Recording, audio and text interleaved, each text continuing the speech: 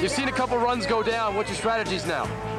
Basically, I'm gonna be sitting right here. I'm gonna be holding on to this and screaming like a little girl.